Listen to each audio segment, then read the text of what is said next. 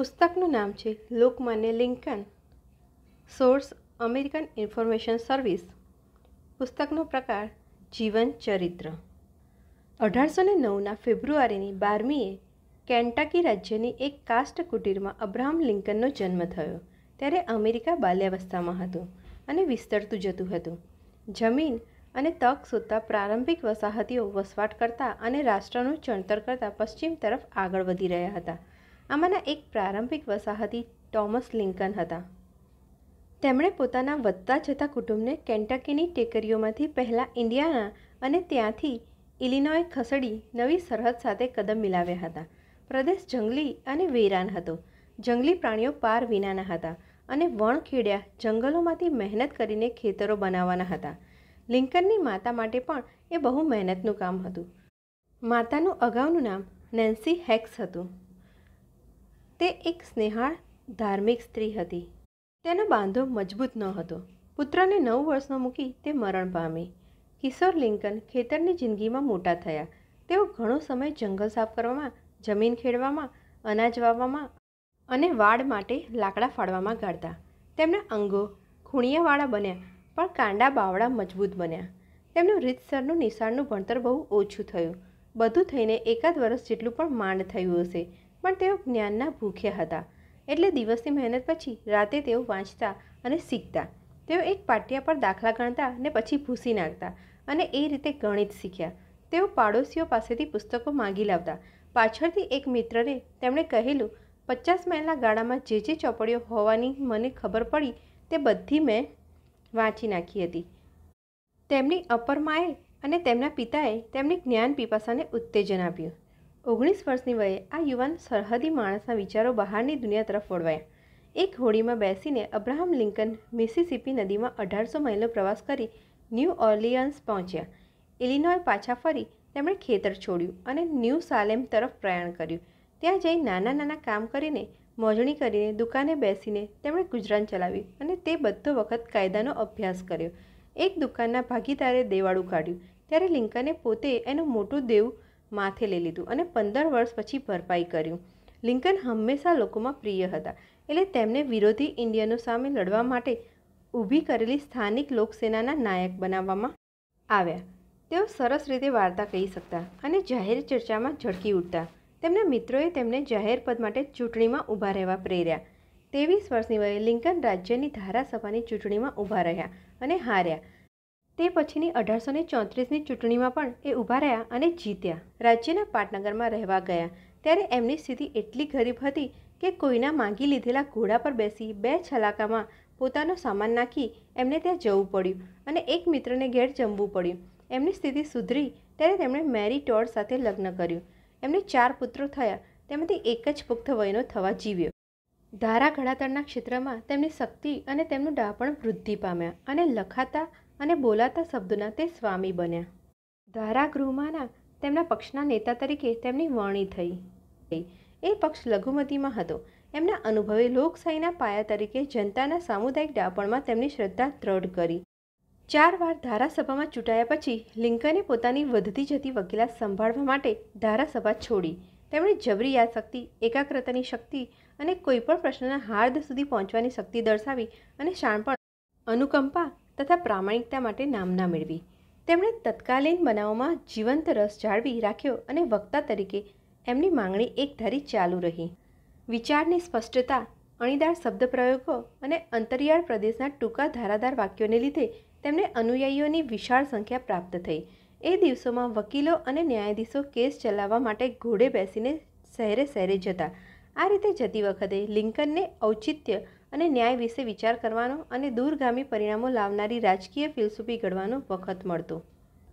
એમણે વિચારેલી એક વસ્તુ ગુલામી હતી. એક સદી પહેલાંનું અમેરિકા અડધું ગુલામો રાખનારું અને અડધું સ્વતંત્ર હતું. મૂળ ગુલામો વેચનારા યુરોપીય વેપારીઓએ આફ્રિકામાંથી આણેલ, બહુસંખ્ય, હબસીઓ, દક્ષિણના કૃષિ અર્થતંત્ર માટે શરતી મજૂરીનું સાધન બની રહ્યા હતા. પણ ગુલામીએ એક મુશ્કેલ પ્રશ્ન ઊભો કર્યો. ગુલામી સ્વતંત્રના જાહેરનામાની અને બંધારણની ભાવનાથી વિરુદ્ધ હતી. તેમ છતાં દક્ષિણના ખેડૂતો પોતાના ગુલામોને ન્યાયપૂર્વક મેળવેલી મિલકત સમજતા લિંકને લાંબા સમય સુધી ઊંડો વિચાર કર્યો અને પછી પોતાનું વલણ નક્કી કરી લીધું. જો ગુલામી ખોટી ન હોય, તો પછી કશુંય ખોટું નથી. વિસ્તૃત બનતા જતાં અમેરિકાના નવા પ્રદેશોમાં ગુલામીને પ્રસરતી અટકાવવાની ચળવળમાં તે જોડાયા. નવા પશ્ચિમ વિસ્તારોમાં ગુલામી દાખલ કરવાની દિશામાં સંજોગો ગતિ કરી રહ્યા છે. એમ લાગ્યું ત્યારે લિંકનને રાજકારણમાં પુનઃપ્રવેશ કરવા પ્રેરાયા. તેઓ અમેરિકાની સંસદની ચૂંટણીમાં ઊભા રહ્યા અને ચૂંટાયા. સંસદના સભ્ય તરીકે તેમણે કોલંબિયા જિલ્લામાંથી ગુલામી નાબૂદ કરવાની માંગણી કરતો ખરડો રજૂ કર્યો. આ ખરડો ઉડી ગયો, પણ વર્ષો પછી એવો જ બીજો ખરડો કાયદાનું રૂપ પામ્યો. સંસદમાં એક મુદત પૂરી કર્યા પછી લિંકને ખાનગી વકીલાતમાં પાછા ફરવાનું પસંદ કર્યું. પછીથી તેમણે એક નવી રાજકીય સંસ્થા રિપબ્લિકન પક્ષ સ્થાપવામાં મદદ કરી. અઢારસો ને અઠ્ઠાવનમાં એમના પક્ષે એમને ઇલિનોયમાંથી સેનેટની ચૂંટણી માટે ઊભા કર્યા. બીજા મુખ્ય રાજકીય પક્ષ ડેમોક્રેટિક પક્ષે ટિફન એ ડગલાસને ઊભા કર્યા. આ બે માણસો વચ્ચે આખા ઇલિનોયમાં યોજાયેલી સાત ચર્ચાઓએ ગુલામીના ઝઝુમી રહેલા પ્રશ્નોને લોકોના મનમાં સ્પષ્ટતાથી કોતરી દીધો. ડગલાસની દલીલ એવી હતી કે નવા પ્રદેશના લોકોએ ગુલામ રાખવા કે નહીં તે નક્કી કરવાનો તેમને અધિકાર હોવો જોઈએ. લિંકને કહ્યું કે કોઈપણ માણસને બીજાના માલિક થવાનો અધિકાર નથી. ગુલામી ખરાબ છે અને તેનો વિસ્તાર કરવાને બદલે ધીમે ધીમે તેનો અંત લાવવો જોઈએ. દક્ષિણના ગુલામ માલિકો પ્રત્યે તેમને સહાનુભૂતિ હતી, પણ તેમણે કહ્યું કે ગુલામોના માલિકોને તેમના નુકસાનનો બદલો મળે એવી કોઈ રીત શોધી કાઢવી જોઈએ. આ ચર્ચાઓએ રાષ્ટ્રના આત્માને જાગૃત કર્યો અને અબ્રાહમ લિંકનને મોખરે આણ્યા. ઝુંબેશ પૂરી થયા પછી મતદાન થયું અને થોડાક મતથી ડગલાસની છત થઈ. પણ લિંકનને થોડા જ વખતમાં એથી ઘણું મોટું માન મળવાનું હતું અને તે યુનાઇટેડ સ્ટેટ્સના સોળમાં પ્રમુખ બનવાનું. અઢારસો ને એકસઠના માર્ચની ચોથીએ અબ્રાહમ લિંકન રાષ્ટ્રના સોળમાં પ્રમુખ તરીકેનું મંગળ પ્રવચન કરવા માટે અડધા બંધાયેલા કેપિટોલમાં ઘોડે બેસીને ગયા. આગળ પડેલા જોખમી સમયમાંથી યુનાઇટેડ સ્ટેટ્સને દોરી જવા માટે તેમના જૂના પ્રતિસ્પર્ધી ડગલાસની સામે તેઓ ચૂંટાઈ આવ્યા હતા. દેશમાં ગુલામીના પ્રશ્ન ઉપર કડવાશ ઘણી વધી ગઈ હતી. અંતિમવાદીઓ સોર બકોર કરતા હતા. લાગણીએ વિવેક બુદ્ધિને ઢાંકી દીધી હતી. ઉત્તર અને દક્ષિણ વચ્ચે લાંબા સમયથી જજુમી રહેલો ભાગલાનો ભય હવે હાથ વેતમાં હતો. સાત દક્ષિણી રાજ્યોએ સંઘમાંથી છૂટા પડી ફેડરેટ સ્ટેટ્સ ઓફ અમેરિકાની રચના કરી. બીજા ચાર રાજ્યો તરત એમાં જોડાયા. લિંકને તેમને ફરી વિચાર કરવાની વિનંતી કરી. લિંકને કહ્યું આંતરવિગ્રહનો મહત્વનો પ્રશ્ન હવે મારા નહીં, પણ તમારા હાથમાં છે. પણ યુદ્ધ તો આવ્યું. માનવજાત પ્રત્યે આટલો બધો પ્રેમ ધરાવનાર લિંકનને માથે ચાર વર્ષના ભયાનક યુદ્ધની વેદનામાંથી દેશને દોરવાની જવાબદારી આવી. શરૂઆતમાં ઉત્તર પાસે વધુ સાધન સામગ્રી હોવા છતાં કલ્પનાશીલ લશ્કરી નેતાગીરીની ખામી હતી, એટલે તેને પરાજયો ખંભા પડ્યા.